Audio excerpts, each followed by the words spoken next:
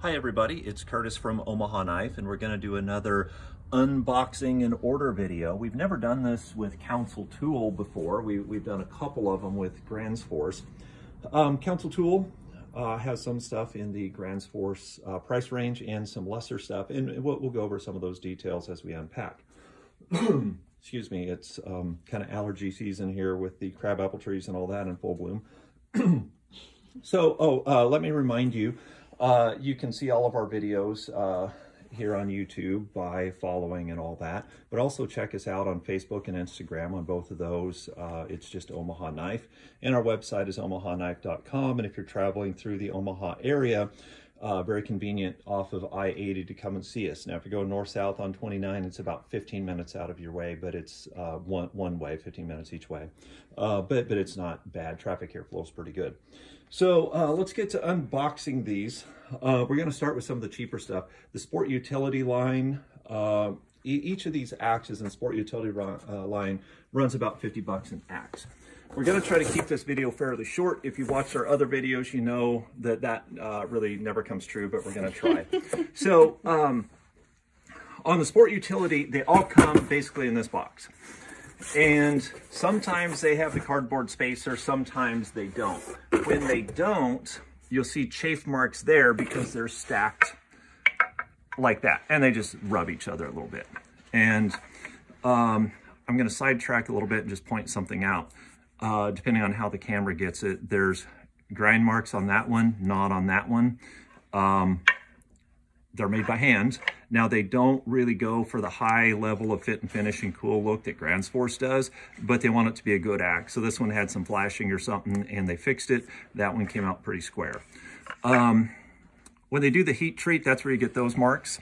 The heat, so they're, they're ground to shape. The heat treat shows up there and those spots show up. I'm guessing, nobody told me this, I'm guessing that um, they stack them and it's just uh, touching in, uh, another head and it cools at a different speed. That's my guess. Um, so let's keep unpacking and we'll hit uh, other details as we go. So what are these ones? Oh, so this is going to be the Boys Axe 24 inch. And, uh, oh, and so see on this how there's no packing to keep them from sliding around. So when you get one and there's blemishes on it, um, that's why. Now, when you go out in the woods and you swing it as hard as you can into a tree, it's going to get blemishes. It's a working axe, so they um, figure you would rather save a few bucks on the packing when you're buying a $50 axe. And I, I certainly would. I agree with that uh, judgment. Oh, we're not going we're not looking at the details like we like to on Gransfors. Now, one thing Gransfors does with their handles, they oil them to bring out the contrast in the lines. Uh, we unpacked the Gransfors, and I've always done this. We've been here going on eight years, and I've always wanted to be there when Grands Force is unpacked and just look them over. I just love looking them over. On the Council tool, uh, they're not oiling them, they're not bringing the contrast out, but some of them are going to look just as beautiful when you use them a little bit and oil them yourself. And let's look at a couple of details here. they've been doing this the last few years. Now, I think they've always said USA, but it has the year now, which I think is cool. It doesn't matter this year or next year, but in 50 years, that's going to be pretty cool. And, and, then the Council Tool logo on that side. Now, um, something about the way these are made, they're made differently uh, than Gransfors makes them. Similar, though. Um, the, you know, different tools, the, the same uh, vintage, you know, pre-World War II or probably even pre-World War One um, in, in, their big machinery. Uh, a dude with tongs is holding uh, this as it's getting stamped out. Now, um, if you've seen the videos, or you can tell by looking uh, just at the pictures in the axe book that comes with Gransfors, that the dude with tongs is going from like tool head to tool head. Uh, council tool, it's like one tool head. It takes multiple strikes, but one tool head to get the shape. That's why you don't, oh, would you, can you grab that um, uh, small forest axe? Uh, I, I set this here just in case we wanted to, and, and um, so when you look, so they're finished differently. Now, uh, the rough there is probably forge slag and stuff that, that's always there. If they wanted it to be smooth, they would have to grind it off. But the little dents, depending on how much they show up, the, the dents and individual character marks uh, that you get in a Gransfors, Um, not so much present on the Council tool. Now, does that make one better than the other? No, of course not. Um, character's cool, but consistency is cool. Now, um, the eye is punched after the head is shaped. Um, does that mean it's always perfect? No. Um, I've never seen one of them that's extremely off. Um, but it, it's it's a fairly symmetrical head for the most part. Uh, talking across the line, not, not just the one I'm looking at. So anyway, um, one thing I don't like the Council tool does, and I'll tell you why they do it. Uh, I don't like these round wedges. On an Axis Small, it doesn't even need a metal wedge. Um, the metal wedge will keep the wood wedge from coming out, but then again, so would glue. Um, when you look at these little cracks, almost never is that crack going to matter. You know, it's not going to let, you don't leave it out in the rain. It's not like it's going to let water in and rot. Almost never do they go all the way through. I only know of one example that that happened, and then I'm not 100% sure that that's why the crack was down here. But anyway, um, I don't really like those, but when you think about it in a factory environment, you have a flat wedge, try to get it straight and get it started, or the round one, the round one's gonna press in a whole lot faster. So that's why they use them on these cheaper ones. They did at one time on the more expensive ones, use the round ones, but they've gone back to the flat one because um, it costs more and people prefer what I prefer, the, the flat one and not the little splits. So um, let's, let's throw this aside and we'll open one more. I think this is the same thing. By the way, the end of the box here tells us. Uh, I don't try to remember the codes that much, but SU for sport, oh, it's it's up here uh, too. Sport utility, uh, 2.25 pounds, but just 22. Boys, 24 inch, C for curved. Um, if, for, for me, um, I can't read that without my glasses on, but at a glance, I generally know what those mean. So this is the same thing, but let's just see if there's anything unique in the box. Oh, and this came on a semi-truck. Uh, that's why they're not packed very well. Um, normally I don't do this, um, use new inventory or customer um, knives or whatever to, to cut a package open, but for the sake of time. Now that particular small Forest Axe, super cool handle. Let's digress a little bit and show that. Um, this was in the unboxing video we did a couple days ago when we got a truckload in from Gransfors. And I set this one aside because it was cool looking, but right away somebody called and said, I want that one. So we're going to get some pictures of it uh, today and then ship it off to uh, that dude. And now he's going to be mad because it's used. no, he won't. um, all right, so We'll talk about um, grain direction here in a little bit. We'll go to the wall. Oh, that has something I want to talk about on grain. Um, so these are all light colored wood. Oh, if you get one and the handle's dirty, dirty, um, out of the box you saw me cut the tape, sometimes they're dirty. They're not used. Um, it doesn't very often uh, happen, but uh, every now and then that, that has some, now I'm calling it dirt. I don't know what it is um, because customers look at that. Now, I'm not picking on people who are picky because I'm picky, and that, that's part of the reason it's easy for me to see these things. Um, here's another unique thing that somebody's not going to like. Um, the uh, but in a working axe, it doesn't matter if you don't like it, and it's, it's a little bit rougher there. Uh, I would myself, I would sand that uh, a little bit and clean it up because, like I said, I'm picky too. So I'd sand it with like some 220 and oil it, uh, and it would be fine. uh, I started saying something and then digressed twice. Right. What's that? You're not trying to make fun of people. Oh yeah, so not trying to make fun of people that are picky. Uh, I just want to point these things out so you understand why they're that way. And sometimes things happen um, that, that really are bad and we want to get those axes exchanged. So here's another one. Um, there was something, I mean, it's, it's going to be a dirty environment when you're making that stuff. So the dude packing this one probably had dirty hands. The other stuff, I don't know what it was. So um, let's run over to the axis. We, we kind of started unpacking and then it's like, oh yeah, we need to do a, a video because uh, we haven't done an unboxing video of Council Tool before. Now, again, the reason we haven't is because uh, the details of Gransfors stuff is really cool. It's just fun to look at them. All right, let's look at the end grain on uh, some of these. See how this grain is crossways. So this handle's gonna break right away, right? Not right, it's not. Neither is that one, neither is that one, neither is that one. So here's a straighter one as people like, and there's a straighter one as people like. Uh, but perfectly straight, no, we haven't seen a perfectly straight one yet. These are, uh, oh, that was three and a half pound heads. These are three and a half pound heads, but straight handle. Can you see them all? Mm -hmm. um, so see, they're, they're really just not that straight.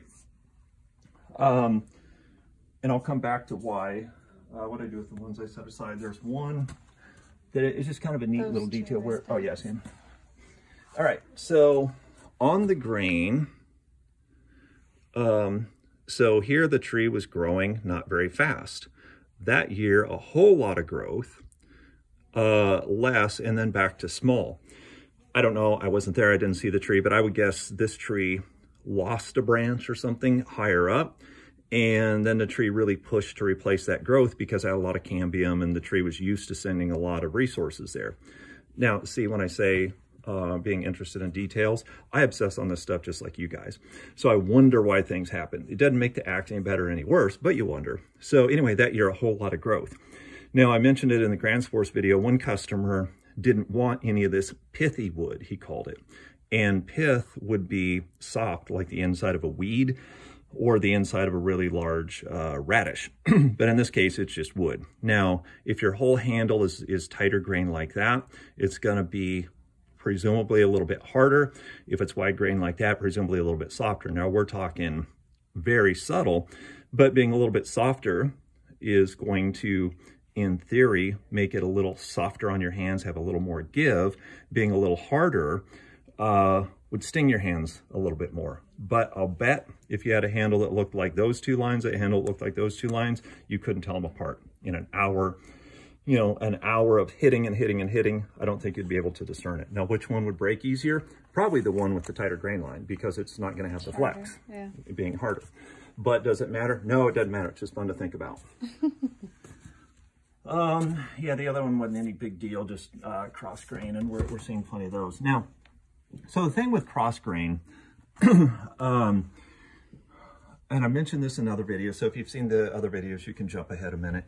Um, the first ever video on YouTube about um, rehanging or, or rehandling axes was a dude that worked for the Forest Service. Uh, there was only one, everybody watched it, and there was a couple things in there that he said that were not really correct, but it was excellent video and I still recommend it. The video is called An Axe to Grind. It's an old dude, like a handlebar mustache. I think he has suspenders, and he's a very credible guy. He really knows what he's doing. And people were not doing a nice job uh, on axes, really, before his video. Uh, I certainly wasn't. I don't know anybody that was. And uh, I watched that video, and then I uh, wanted to make all of mine look nice like his, and then I decided I wanted to look nice like Gransfors. But I really wasn't aware that you could and should do that nice of a job. So that dude deserves a whole lot of credit. And then a lot of other people saw that video, went and did basically everything he did, said everything he said, and acted like it was their own information. So all these experts that you see out there started from that video. So go back and watch that video because that's really where it all began. But anyway, he said front to back uh, on that. Uh, I prefer it front to back. It looks more cool. Let's grab that Gransfors again. Um, now, again, this was of like 143 pieces on that order. This was the coolest looking one. and who wouldn't want that? That is super cool looking. And look how straight that grain is. It's not perfectly straight, but, um, you know, pretty darn close to get a beautiful look like that. So that's the main reason to want straight grain in my view. In a working axe, it really does not matter. Now, occasionally, oh, I'm going to hold on to this and um, and make one other little point. Occasionally an axe will break like in the first few swings. That's an entirely different thing. Grain orientation has nothing to do with that. Um, Video Gransfors did a long time ago, and I can't point you to it now. Um, they did a study on handles that broke like that. I don't remember it was virus or fungus or something like that, something that happened to the tree when it was alive that made it so the cells didn't bond as well. So that piece of wood's just gonna break. So when it happens, um, all, all the major brands just get you a new axe uh, immediately. They don't send you a different hand because it happened so fast, they're just gonna replace the axe. Another thing I, I, want to point out, let's go to the floor on this. Um, so this is the council tool, three and a half pound, 36 inch. And this is uh, the Gransfors Small Forest Axe. when you look at the amount of wood on the handle, there's at, you, you can't see this profile, but uh, it's thicker. The Gransfors is thicker than a Council tool by, I don't know, 10%, maybe more. But in this dimension, um, I don't know if they're similar. So on the Council tool, with the longer handle, uh, it's really not bigger. And hardly ever does anybody break one of these. So a small forest axe, when people are, are afraid that the rotated grain is going to cause it to break, it's, you know, physically, the physics of it really don't make sense. Uh, but again, cool looking, it's cool looking. uh, on the council tool um, handles that look like this, maybe I already said, we, we don't see them breaking. Um, oh, something else that I want to say on this uh, two-tone, uh, a lot of people are afraid that's going to break. Now down here, they don't worry about it as much as higher up, but, but people think it's going to break on that grain line. Of all the broken handles I have seen in my life, I have never seen one break on the color line, not a single one. You would think that just by coincidence, I would see that, but not yet. So there's no strength difference. Sometimes it'll break in the light wood, sometimes in the dark wood. Now, I, I don't mean to sound like I, uh, it, it may sound like I'm saying they don't break and then turn around and say they do break. Let's go up to the head. Um, broken handles almost always have damage in here from uh, overstrike mainly, but even when you're splitting sometimes you, you get a good hit, but the handle can be wider than the head right here, so you chew that up. And eventually you chew that up enough that it, it, will get a split that runs down in the handle, or just overstrike it enough times and just, you know, overstriking in the fulcrum here with you swinging the three and a half pounds as hard as you can and, and hitting it there can break the handle. So when we see those and they break, has nothing to do with color, light or dark. Um, the I wanted to show you something. Oh, and we're to undo, I, I really sidetracked showing you stuff, but I'm to show you one other thing, then we'll unbox some more. Um, where did, yeah, can you hand me mine? So kind of interesting story on that somebody's to put in the comments. No, that story was not interesting. Uh, uh, on, on, this axe, uh, th this is mine. Somebody bought it. It's a couple years ago. So look at the lines in this, those dark lines. Somebody bought it and sent it back and they were certain it was going to break. And, um, you know, with all these irregular grain lines and that dark there. Uh, I knew it wasn't, but I understand that people worry about that stuff. We sent them another axe, and I knew that the next person was going to think the same thing, so I just took it home. Uh, well, I sanded it. It looks uh, a little better. I sanded it with 220 and, and put some uh, axe wax on it, a product that we sometimes sell uh, for a handle treatment. But I sanded it with 220, and up here, I sanded it so it's a little more like a Gransfors, looks a little nicer through there like a Gransfors compared to the Council Tool finish, which uh, you're not maybe glaring right, I don't know, but it's rougher right there. Uh, yeah, you can see it there. And from that line, it's a little bit rougher there. I just sand it, uh, make it look a little better. But I've used this for a couple years, used it quite a lot. And of course it hasn't broken and it's not going to unless I do something that would break any handle. I made this sheath, by the way, and um, the rivets I used weren't really long enough to engage each other. So um, a so couple of them. Apart. Yeah, couple, but it's got the third piece in and I glued it with leather glue. So having the rivets there is still kind of important. If the blade cuts through, you want to have the steel there to stop the blade from coming all the way through. And I'll re-rivet it eventually. But anyway, um, so uh, let's go back to opening. See, that one we're done with. So, oh, so we got a few replacement handles. I just want to show you how, the, how they compact like that. And look, well, so these are our premium handles. So they try harder to, you know, to make these look the way people want. Now, again, the fact that, that it honestly technically doesn't make a lot of difference, the grain orientation. It does make a difference in that people want it a certain way, so they try to, uh, to give you what you want. So see, this is pretty, pretty straight. Not perfectly straight, but pretty good. Um, that, that one is perfectly straight. Now, um, if somebody wants that one. Um, oh, but there's an ugly on it. So this is gonna need some work. I may just put this. Well, look, it, it needed to be trimmed. Uh, it didn't get trimmed at the top. Um, now I have a really good excuse to put it with my handles. They're all like that. The, oh, really? Okay. Well, we'll measure them and trim them before we send them out. Um, because not everybody, well, Yeah, people don't want to mess with that, so we'll trim those before we put them out. That's just an oversight. Now, uh, one thing about the handles, Council Tool uh, makes, I mean, they've got a handle shop, but their handle shop's not big enough to do all of their handles. Um, I would guess that there's a good chance that this one came from their shop.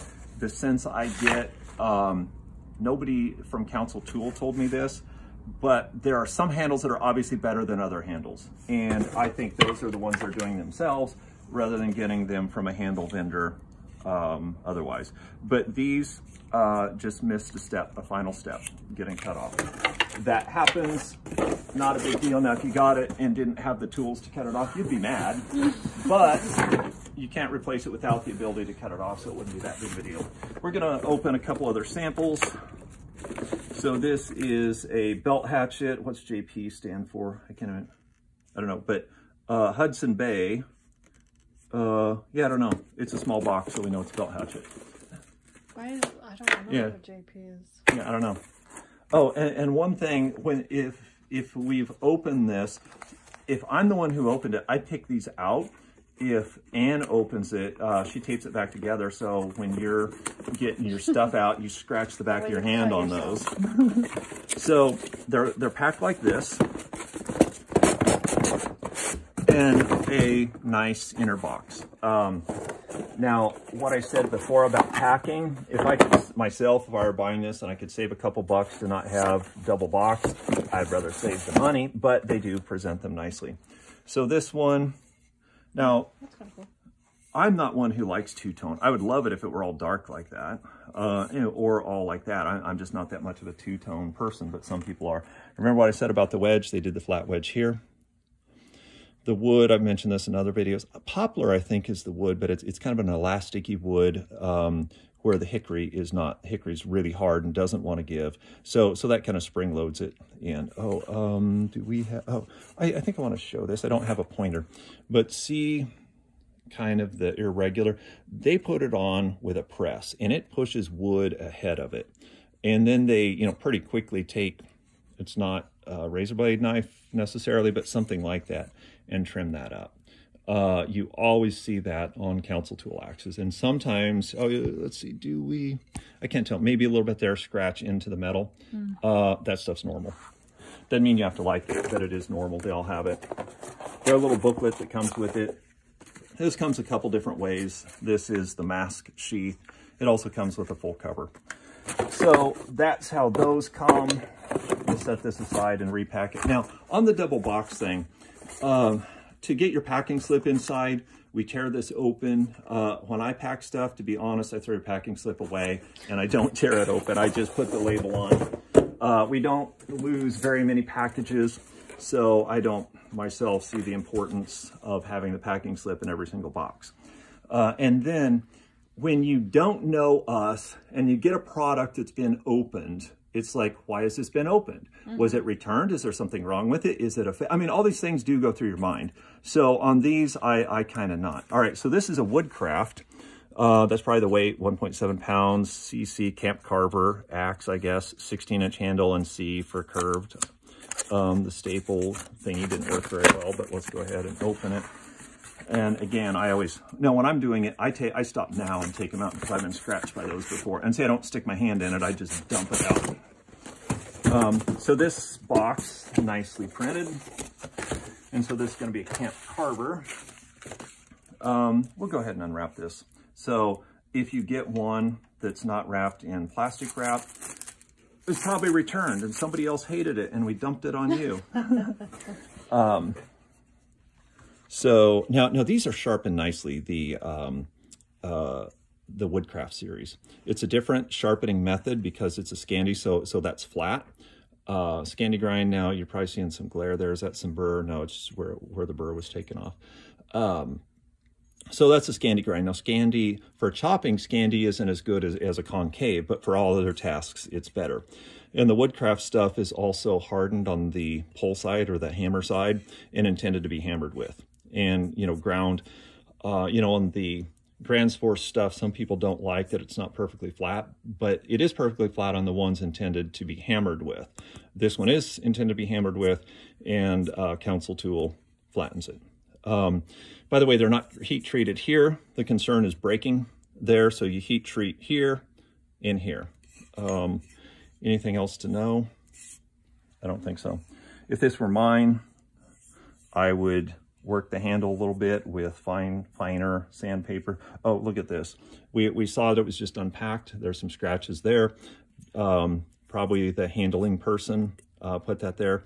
So not, you know, it didn't get dropped on the floor here. When people get that stuff, we seriously, we get a lot of messages or, you know, emails or whatever, uh, where they assume we dropped it on the floor before we sent it to them or sent them a pre-owned one or, you know, something like that. But we don't. And here's the sheath, it's stapled. So we won't go that far in unpacking. The little booklet and the sheath for it is in there. Um, we'll do one more. How long is this video running now? Uh, 25. Yeah, I told you it wouldn't be very short. So we we will handpick the nicer council tool, but it is harder for us to do. So another two-tone, uh, and it is a Woodcraft uh, pack axe. Let, let's just open the plastic on this one too. Um,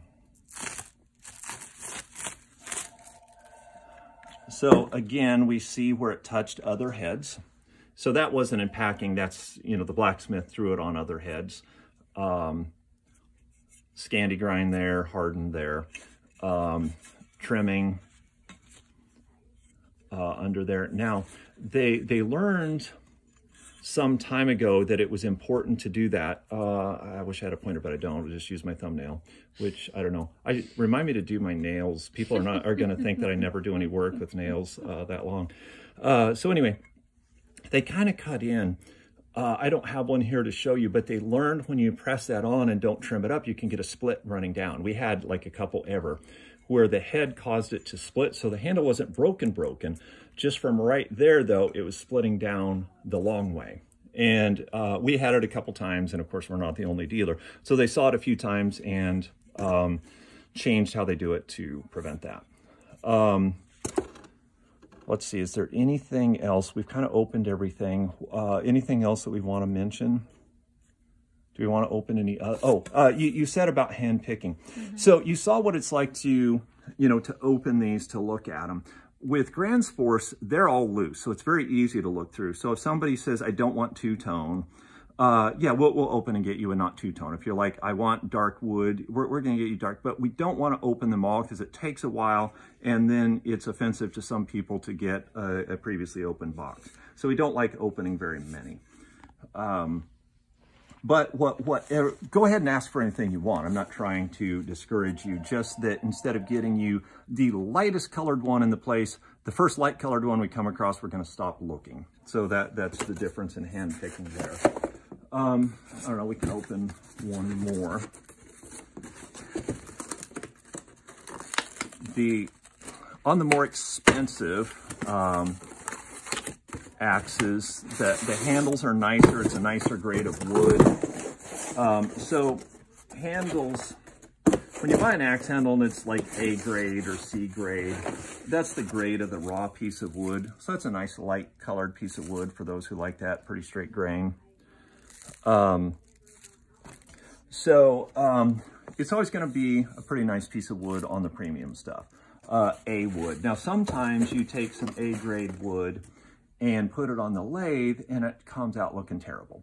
Sometimes something that's ugly on the outside has a great looking handle on the inside. So that's why sometimes on the lower grade, you have a great looking handle. And on the higher grade, you know, it's two-tone or, or whatever you don't like. Because again, the wood is graded as the big chunk of wood before it goes on the lathe. Now, something you may be wondering why, let's come back to these and talk about some wood grade things a little bit. Um, so to, to get the grain aligned straight, it's a two, two things. It's a manual process of lining it up, but then also uh, a piece of wood that is C grade, um, the grain doesn't run necessarily straight the full length. Imagine it has a little bit of rotation in the piece. So it might be perfectly aligned here, but come to this end and it's not. So that, that would get it C. And other stuff, you know, color, um, I don't know though if, if color matters. You you because you see some color in some A graded wood. Um, little knots. I don't know that that's just color, but you you sometimes see little knots and evidence of knots. None of these are really. If I would have thought of that, I would have uh, looked out in the store. We've got a bunch more of these. I'm sure I could have came up with some knots to see. But you can see these just aren't as They're just not as pretty. yeah, they, they have visual blemishes to them. Yeah, so I, I'm sure that tone, because you really don't see that on the expensive axes uh, or on Gransfors. Grand Force only does premium. They don't have, you know, a, a lower range. So, but when it comes down to it, it doesn't matter other than what you like.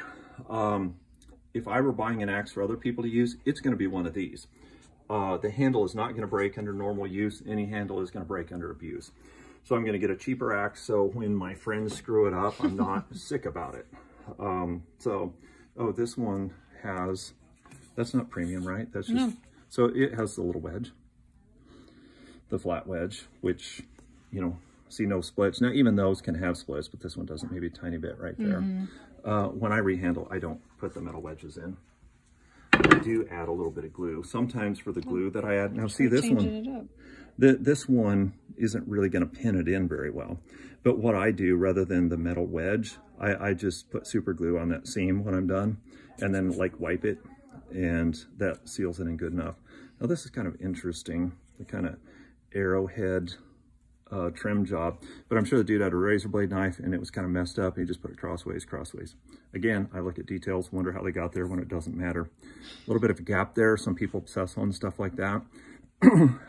Is the head gonna fly off? Maybe someday. No, it's not. um, so when you're striking, no, no, people get less concerned at the back, but more concerned at the front if there's a gap, looking at front to back. But really, all this tapered surface is front surface because this, it's not, I, I, I hope I don't need to explain it any more than that. As it wedges, all that, you know, that shape is going to hold it in place. So having a little bit of a gap there, there, or there is, not going to make it uh, come loose. No gap on the bottom side. Now, I have bought more than 200 used old axes at estate sales and stuff like that. Um, it's amazing how crappy of a job you can do putting a handle on and have it still stay. Uh, you know, some of the stuff I bought, I go mess with it and think it's going to fly off and then wound up, you know, because the handle's warped or whatever, wound up just cutting it off in the end because it will not fly off even though it was poorly done. Back to a round wedge. That's, you know, straighter-ish at that end. And yeah, and at that end. So that was, so people would like that handle. Um, remember when I said about the elasticity of the wedge wood? See how compressed it is here versus there? That's why you don't just use any old piece of wood for the wedge. You can. Uh, they used to use aluminum in these and may still in some. Aluminum doesn't compress at all. And those are really tight the day you get them, but with some vibration and stuff, um, a lot of those came loose. Now, when I say a lot, we sell a lot of axes. And not even one one time a week, somebody call, you know, they've had their axe a couple months and the head's coming loose. And I hated that and quit carrying the aluminum wedged ones. I think they're still doing some, but but these these are much better. The complaints that we get on the sport utility stuff, it, it, people who are wanting the aesthetic things. When it comes to using this axe, um, you know, as a tool, it's an excellent tool.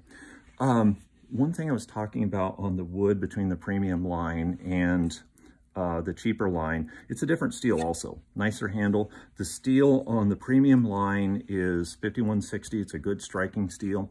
It is going to stay sharp longer. Uh, I don't know what this is, you know, like a 1095, 1070, whatever, like that. Um, but mine that I've had for a couple years, I sharpened it before I took it home. It's not been sharpened since. Uh, it's good. The other's better. How much better? I don't know. You'd have to take two and use them the same for a period of time to try to determine. Um, if I was only going to have one axe, I would get the expensive one. If I have a bunch of axes, I'm going to have a mix, so I don't get too hung up on that. They're all better than like the Chinese steel. So whether it's uh, Hults or uh, Council Tool or Gransfors, all the steel they use is good enough, even if it's different steel. It's all good. Some's a little better, fine. It's all great. Um, was there anything else that we wanted to, I don't know, did you, oh, um, I don't think so. yeah, so these are full size, they're boxed the same, um, but the 36 inch. And Here's one, by the way. Th this was uh, one that we opened looking for one, so we marked it darker because somebody wanted didn't want dark. So we marked that darker, so somebody's going to ask for darker, they'll get that one. So I think that's all we can say on this video. Uh, we appreciate people who comment on the videos because we do listen, even if you're not very polite, we listen to your point and uh, consider it in our future videos. We're, this video, uh, these unboxing videos are kind of more entertainment than informational, but we're never gonna do videos just for the sake of doing videos. We want to show you things about the axes that other people are not showing you. So if there are things you wish we would show in these videos, uh, you can either comment. We don't always read the comments in a timely fashion, but you can email us through the website or whatever. And if there are not good videos on a subject matter, if it's a product we have or something you think we know about, ask for a video and we'll try to do a video for you. So uh, we're going to wrap this one up. Uh, check out our other videos here. Uh, do like and comment so that we know you like them. And uh, check us out on Instagram and Facebook and come to our store in Omaha, Nebraska. OmahaKnife.com. Ah, yes, and OmahaKnife.com. Thanks. we'll see you next time, folks.